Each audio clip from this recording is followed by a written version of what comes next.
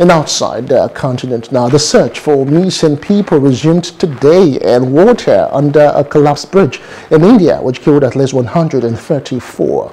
The colonial-era bridge over the Machchhu River was packed with sightseers enjoying holiday festivities when it ruptured on Sunday evening, sending people plunging about 10 meters into the water.